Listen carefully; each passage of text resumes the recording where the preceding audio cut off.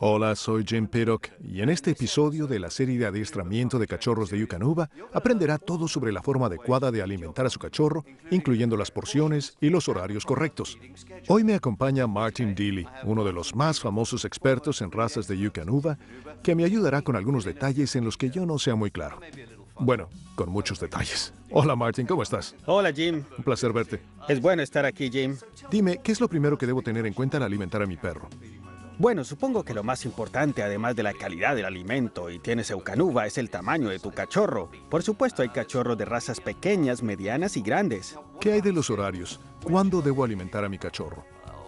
La gente debería alimentar a sus cachorros cuando les sea cómodo hasta cierto punto. Se adaptan a tus horarios. Los perros son muy adaptables. En lo posible me gusta darle de comer a mis cachorros al mismo tiempo que nosotros comemos, temprano por la mañana, por la noche y probablemente durante el almuerzo. Debe adaptarse a tu familia. Harás uh, tres comidas. Tres comidas exactas, sin duda. ¿Cuándo cambia eso? En general, dependiendo del perro, alrededor de los cuatro meses. Luego puedes comenzar a reducirlas a dos comidas al día. Yo prefiero temprano por la mañana y luego al final de la tarde. ¿Qué pasa si tienes un cachorro grande, enorme? ¿Debes alimentarlo más seguido? Depende de lo que quieras decir con más seguido. A los pequeños hay que alimentarlos más veces. En otras palabras, a un perro pequeño de menos de 5 kilos, tal vez le des cantidades pequeñas 4 o 5 veces al día porque su cuerpo no puede con más. ¿Y qué hay del tamaño de las porciones? Así, cuanto más grande sea el perro, más grande la porción. Mira el cuadro de alimentación en la bolsa. Eucanuba tiene una guía muy buena para las porciones, pero hay una cosa, recuerda, donde dice 8 onzas no es peso, son 8 onzas en una taza para medir. Es bastante fácil cometer ese error. Ahora, ¿qué hay de la gente que está cambiando de otra marca a Eucanuba? Háganlo en etapas. Es fácil alterar el estómago de un cachorro.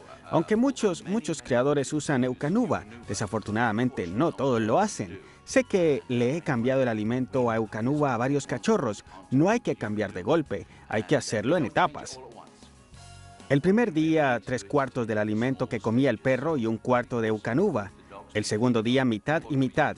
El tercero, un cuarto del alimento del creador y tres cuartos de Eucanuba. Y luego el cuarto día estamos otra vez en camino. ¿Recomendarías alimentos secos o enlatados? Sé que esa pregunta probablemente surge muchas veces. Sí, surge mucho, Jim. Yo prefiero los alimentos secos, debo decirlo, pero Eucanuba hace un alimento enlatado maravilloso. Si es difícil hacer que el perro coma, a veces tomo una cucharada, hago un poco de salsa y la mezclo, algo así. Si al perro le están saliendo los dientes, si las encías le duelen o tal vez veo a poca agua, agregue el agua en la salsa y es sensacional, es muy saludable para los exigentes, es perfecto.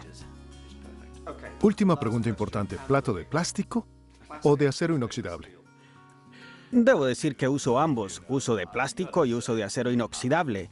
Suelo usar de plástico cuando viajo, uso de acero inoxidable en casa. Los de acero son más fáciles de lavar y limpiar, eso es lo principal, son más duraderos. Los perros no pueden masticarlos tanto.